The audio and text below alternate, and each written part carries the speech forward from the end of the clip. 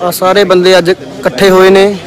ਜਿਹੜੀ ਮੰਦਭਾਗੀ ਘਟਨਾ ਆਪਣੇ ਪਿੰਡ ਮਨਰੀਆ 'ਚ ਵਰਤੀ ਸੀ ਤੇ ਹੁਣ ਆ ਕੇ ਇੱਥੇ ਜ਼ੋਰ ਜ਼ਾਰ ਪਾਇਆ ਤੇ ਤਾਂ ਹੁਣ ਪੁਲਿਸ ਗਈ ਹੈ ਮੁਜਰਾਂ ਨੂੰ ਫੜਨ।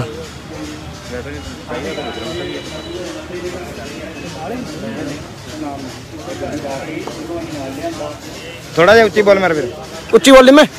ਉਸ ਤੋਂ ਬਾਅਦ ਹੀ ਅਸੀਂ ਮਤਲਬ ਕਿ ਫਿਰ ਕੁੜੀ ਦੇ ਕੇਸਰਪੁਰ ਆ ਗਏ।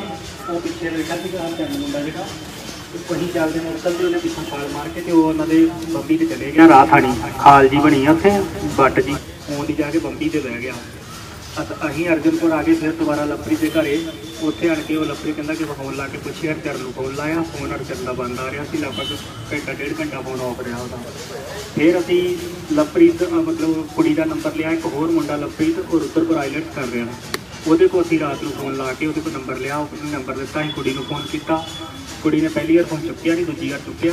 ਨਹੀਂ ਪੁੱਛਿਆ ਕਿ ਹਰਚਰਨ ਕਿੱਥੇ ਆ? ਕਹਿੰਦੀ ਮੇਰੇ ਕੋਲ ਆਇਆ ਹੀ ਨਹੀਂ।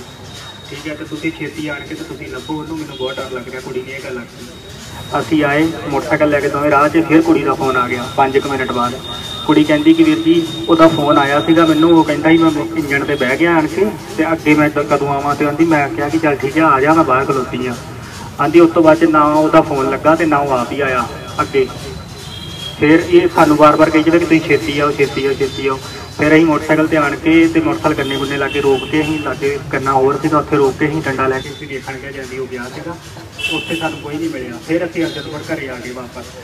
ਘਰ ਆਣ ਕੇ ਸਾਰਿਆਂ ਨੂੰ ਮਤਲਬ ਕਿ ਅਸੀਂ ਵੇਖਿਆ ਉੱਥੇ ਸਾਰਾ ਕੁਝ ਕਰ ਕਰਕੇ ਜਦੋਂ ਨਹੀਂ ਸਮਝ ਆਈ ਕੁਝ ਵੀ। ਫੋਨ ਆਨ ਹੋ ਗਿਆ ਉਹਦਾ। ਇੰਨੇ ਵਿੱਚ ਫੋਨ ਵੀ ਆਨ ਹੋ ਗਿਆ ਉਹਦਾ ਤੇ ਫਿਰ ਫੋਨ ਰਿਸੀਵ ਨਹੀਂ ਕਰ ਰਿਹਾ ਸੀਗਾ ਕੋਈ ਵੀ। ਕਿਸੇ ਨੇ ਫੋਨ ਰਿਸੀਵ ਨਹੀਂ ਕੀਤਾ। ਫਿਰ ਅਸੀਂ ਲਗਭਗ ਘਰ ਫੋਨ ਕੀਤਾ ਹਰ ਚਰਨ ਦੇ।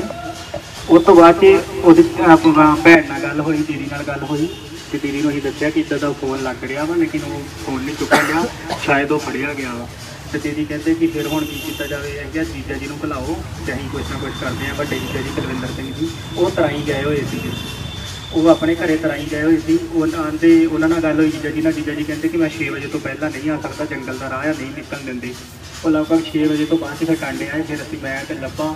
ਤੇ ਉਹ ਜੀਜਾ ਜੀ, ਵੱਡੇ ਅਸੀਂ ਪੂਰਾ ਮਤਲਬ ਤੇ ਆਪਣਾ ਇੱਥੇ ਗੱਲਬਾਤ ਕੀਤੀ ਕੀ ਆ ਫਿਰ ਇਹ ਸਾਰੇ ਕਹਿੰਦਾ ਕਿ ਕੋਈ ਕਹਿੰਦਾ ਰਿਪੋਰਟ ਲਿਖਾਉਣੀ ਆ, ਕੋਈ ਕਹਿੰਦਾ ਅਸੀਂ ਲੋਕੇਸ਼ਨ ਕਢਾਉਣੀ ਕਿਹੜੀ ਦੀ ਤੋਂ ਤੇ ਜੀਜਾ ਜੀ ਮੈਨੂੰ ਕਹਿੰਦੇ ਕਿ ਮੇਰੇ ਕੋਲ ਪੈਸਾ ਕੋਈ ਨਹੀਂ ਹੈਗਾ, ਆਪਾਂ ਘਰ ਚੱਲਦੇ ਆ ਤੇ ਘਰੋਂ ਪੈਸੇ ਲੈ ਕੇ ਆਉਂਦੇ ਬਸ ਜੀ, ਇਹੋ ਹੀ ਘਟਨਾ ਆ।